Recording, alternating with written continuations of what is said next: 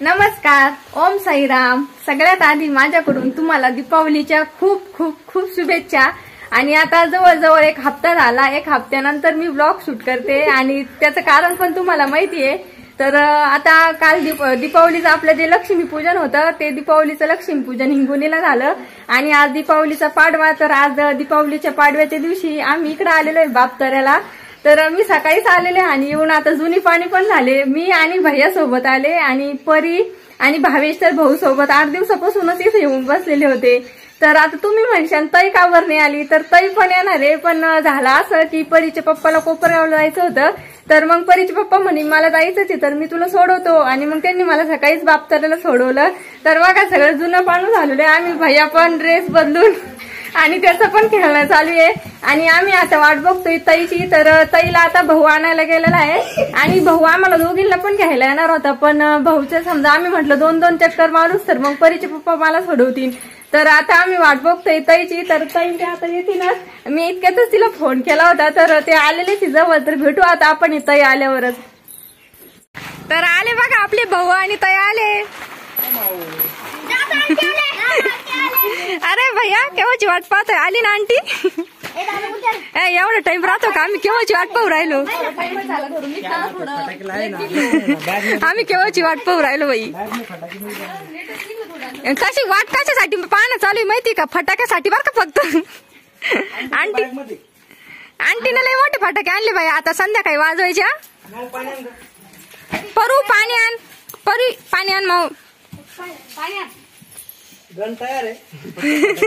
ए कोणाला गोळा घालायचे भैया कोणाला गोळा घालायचे आता गणमधून मामाला पहिले सगळ्यात पहिलं मामा मला का म्हणून मीच आणले फटाके फटाके आणले मी आणि मला गोळा मारायचा आंटीला बी आण ना नको रे.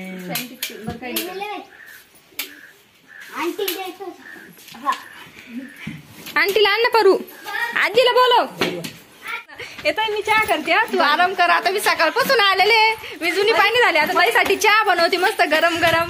परी? आंटीला पाणी पिणी दिलं ना बाई? चला आता आधी ताईसाठी चहा करून घेऊ. पण लाइट गेलेली घरामध्ये नेमकी तर आधी आता चहा उकळून घेते. आणि कॅमेरा आता थोड्या वेळ बंद ठेवू. आम्हाला यायचंच होतं पण मग यायच्या आधी थोडं भाऊ आल्यानंतर पण ना. तू लगेच खेळायला गेला ते पर्यंत ते पाय तिकडे लगेच. खेळला सुरू इकडे. आंटीने केवढे फटाके आणले पाय तुला. परी पोरांना तिकडे नको जाऊन देऊ इकडे आण बरं. हे बा इकडे इकडे इकडे. हे बा फटाके म्हणल्यावर कसे आले पाच सगळे जण पण पाहिजे तुम्हाला इकडे मग. मामाने घरात ठेवले मामाला विचार. फटाके म्हणले फटाके. मामा चांगला जोडून काढ रे त्यांना घरामध्ये आले तर. भावे इकडे तू कोणाला जाणार नाही परी? अंगठी केली ना मम्मी ना त्यांना पाहिजे ताई दमच निघाला तर आता भाऊला वाजवाच लागू राहिली फटाकडे आता दिवसाच. भैया चटका बसा नाही.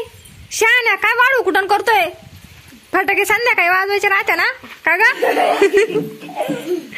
ताय यांना आहे ना आता आहे ना आपण आहे ना कापसाच्या रानामध्ये घेऊन जाऊन त्याला कापूसाचा लवग समोरच. हे परी कापूस इकडे चाल. कापूस वेचायला जायचा आता.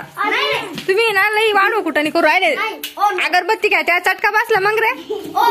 थांब थांब थांब. आलेच का इकडून? परी परी. पण मामन म्हणा आम्हाला थोडे पैसे दे आम्ही त्या पैशाच फटाकडे आणि मग तसं आम तुम्हाला फटाकडेच नाही आणत का शान नाही आणि नाही. नाही का? आम्ही. आजीनं फटाकडे लपून ठेवेल तुम्हाला संध्याकाळी द्यायचे. चला आता कापूस झाल्या बाय. लय कापूस फुटेल आजीनं पाय एवढं वेचून ठेवला. तुम्ही दोघांनी वाचला का. मग किती पैसे झाले? आजीकून घ्यावं लागत मग? एक लाख रुपये. एक लाख ताई चला आता केव्हाची बाहेरच पण लाइट आली असं ना ग आता. अजून मम्मीचं फरळ पण राहिलेलं आहे मम्मी फोनवरच म्हणली होती आम्हाला का तू आ- तुम्ही दोघी आल्या का मग आपण फराळ बनवू. तर आता आता ताई थोडं फ्रेश होईन आणि आता फ्रेश झाल्यानंतर लाडू तर बनवलेले आहे मम्मीने लक्ष्मीपूजनासाठी पण अजून चिवडा करंजी शंकरपाळे भरपूर काही बनवायचं राहिलेलं आहे. तर करतो आम्ही तयारी. Bye bye